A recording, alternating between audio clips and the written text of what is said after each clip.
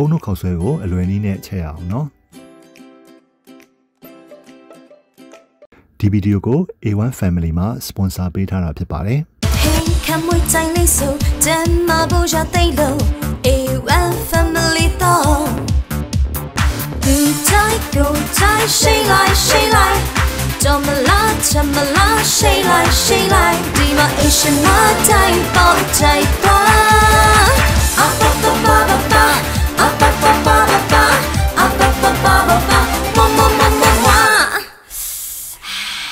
ရှင်မာတိုင်းလက်ဆွဲသုံး A1 Family အကောင်းဆုံး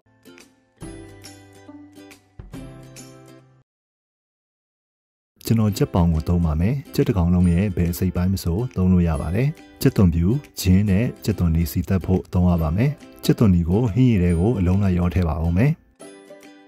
ဒါကျွန်တော် online lecture ကို Zoom နဲ့တက်နေတာပါအတန်းတက်ရင်ကြက်သွန်တွေခွာရင်းနဲ့ multi testing လုပ်နေတာပါနော်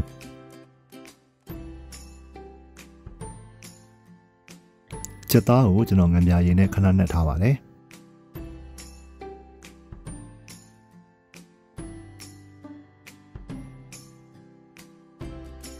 ချစ်သွန်ဒီသေးတာလေးတွေကိုဟင်းရည်တွေကိုအလုံးလိုက်ထည့်ပါမယ်။နည်းနည်းကြီးနေတာတွေကိုတော့ကြိတ်ပြီးတော့စီတက်တဲ့နေရာမှာအသုံးပြုပါမယ်။စီတက်ဖို့အတွက်ချစ်သွန်နေနဲ့ဂျင်းတွေကိုကြိတ်ထားပါမယ်။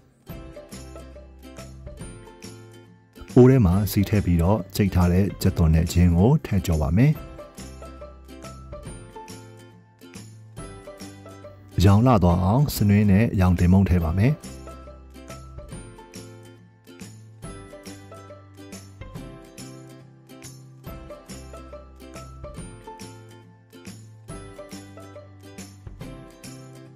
ကြက်သွန်တွေပြော့ပြီးတော့ခြေကုန်ပြီဆိုရင်ကြက်သားတွေရောလိုက်ပါမယ်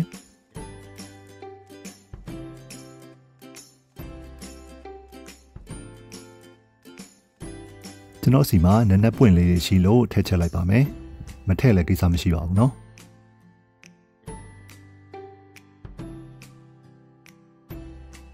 အုံတို့ခောက်ဆွဲဟင်းရီကချိုချိုလေးဖြစ်နေရင်ပိုတောက်လို့ကောင်းပါတယ်အဲဒါကြောင့်မလို့ကျွန်တော်ကတကြားများများထည့်ပါမယ် အုံနှုတ်ထည့်ပါမယ်။တချို့အုံနှုတ်မကြိုက်တဲ့သူဆိုရင်နှုတ်စိမ့်ထည့်လို့ရပါတယ်။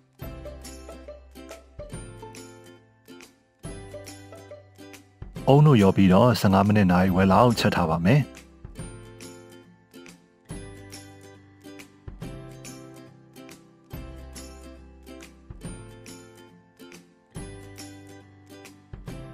တစ်ဖက်မှာဟင်းရည်လုပ်ဖို့အတွက်ရေနွေးအစင်တင်တည်ထားပါတယ်။ဟင်းရည်ပစ်ဖို့အတွက်ပဲမုံအစိမ်းမုံသုံးရပါမယ်။ကိုလိုချင်တဲ့ဟင်းရည်ပစ်ကျဲပေါ်မူတည်ပြီးတော့ပဲမုံထည့်တာနဲတာများတာကွာတတ်ပါတယ်။ဒါကျွန်တော်ရေ2လီတာစာလောက်ကို ပဲမုံထမင်းစားစွန်၄စွန်မောက်မောက်လောက်ကိုသုံးထားပါတယ်။မပြစ်မကျဲလေးပေါ့နော်။တချို့စိတ်ရှိတဲ့သူတွေဆိုရင်ပဲမုံသုံးမဲ့အစားကလပဲတွေကိုပြုတ်ပြီးတော့ထောင်းပြီးတော့ထည့်မယ်ဆိုရင်လည်းရပါတယ်။ဒါကတော့ကျွန်တော်အလွယ်နည်းနဲ့ချက်တာဆိုတော့ပဲမုံသုံးရတာပို့ပြီးတော့အဆင်ပြေပါတယ်။ပဲမုံစိမ့်မုံကိုနိုင်ငံခြားမှာဆိုရင်အခုလို China flower ဆိုပြီးတော့စူပါမားကတ်တွေမှာဝယ်လို့ရပါတယ်။အိန္ဒိယကုန်စုံဆိုင်တွေမှာဆိုရင်သေချာပေါက်ဝယ်လို့ရပါတယ်။မြန်မာပြည်မှာဆိုရင်တော့မွေးရထုတ်တဲ့ပဲမုံစိမ့်မုံတွေကိုသုံးလို့ရပါတယ်။ ပဲမုံတွေကိုရေနဲ့လုံးဝပျော်ဝင်သွားအောင်မှွေပြီးတော့ရေနွေးပူတဲထားတဲ့အိုးတွေကိုထည့်ပြီးတော့အိုးထဲမှာလည်းအဆက်မပြတ်မှွေပေးရပါမယ်။ပဲမုံတွေကိုရေနွေးတဲထားတဲ့အိုးတွေကိုဓာတ်ရိုက်တန်းပြီးတော့ဖောက်ချလို့မရပါဘူးနော်။ပဲမုံတွေလုံးထွေးပြီးတော့အလုံးလိုက်အလုံးလိုက်တွေဖြစ်ကုန်ပါလိမ့်မယ်။ကျက်သွန်တွေထည့်ပြုတ်ထားလို့ရပါပြီ။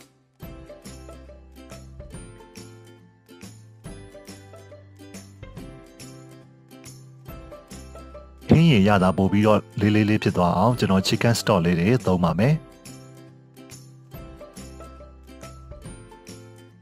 အုံနုနဲ့ချက်ထားတဲ့ကြက်သားတွေကိုရောထည့်လိုက်ပြီဆိုရင်အုံနုခောက်ဆွဲဟင်းရင်ဖြစ်သွားပါပြီဟင်းရင်အိုးကိုမီအေးအေးလေးနဲ့ပွက်လာတဲ့အထိတည်ထားလိုက်ပါမယ်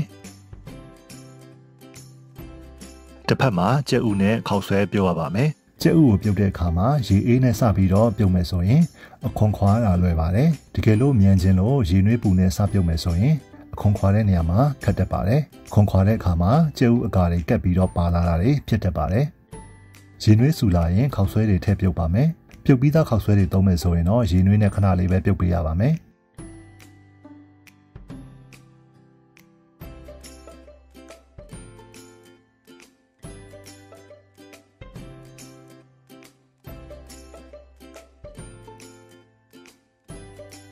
ခောက်ဆွဲတွေရပြီဆိုရင်ရေအေးနဲ့ချွဲနေတာတွေပြောင်းသွားတဲ့အထိဆေးပြီးတော့ရေစစ်ထားပါမယ်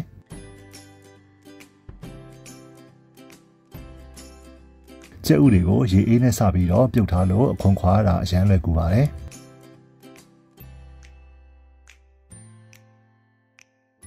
ကျွန်တော်စီမှာ fish cake လေးတွေရှိလို့ပပလေးပြီးတော့ထည့်ပါမယ်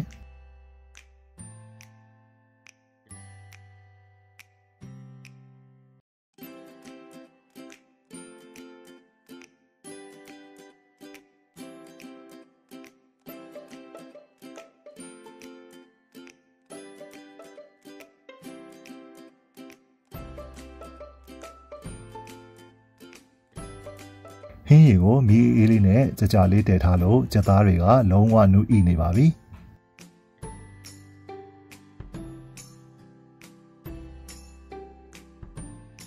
အဆက်အရသာပါသွားအောင်ငရုတ်ကောင်းမုံထည့်ပါမယ်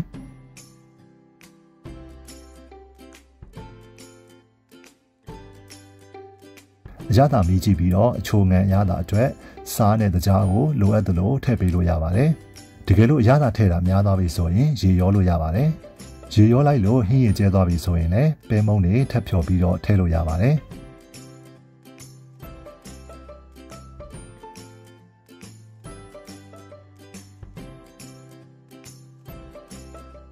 ဒါဆိုရင်အုံနုခောက်ဆွဲဟင်းရည် ready ဖြစ်ပါပြီ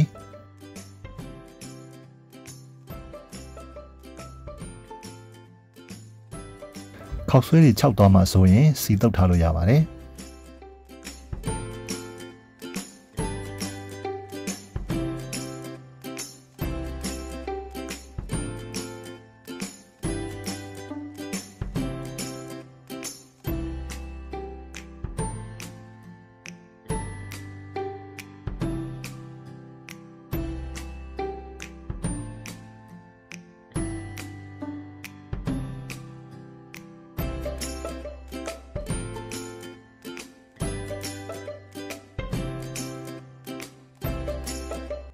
အုံနုခောက်ဆွဲနဲ့တွဲစားဖို့တမယာသည်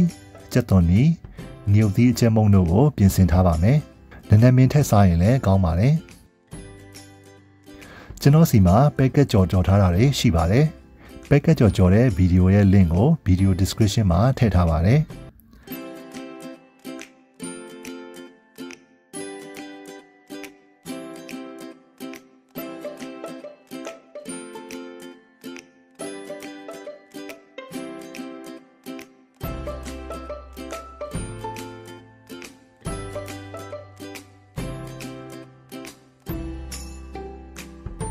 အုံနှုတ်ခေါက်ဆွဲကိုမီးဖို့နှစ်ခုနဲ့အပြိုင်ချက်လိုက်တာအရမ်းမြန်ပါတယ်